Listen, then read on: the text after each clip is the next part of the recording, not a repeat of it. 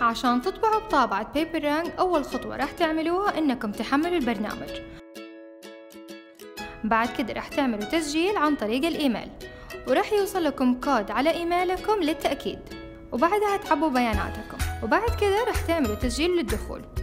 وراح تتأكدوا إن البلوتوث شغال وتشبكوه بالطابعة. وممكن تختاروا إيش حابين تطبعوا من القائمة زي إنكم تطبعوا صور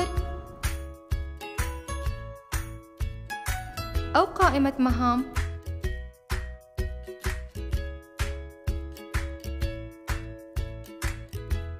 أو مواقع. وكثير غيرها. وإذا حابين تطلبوا الطابعة زوروا موقع دكان أفكار دوت كوم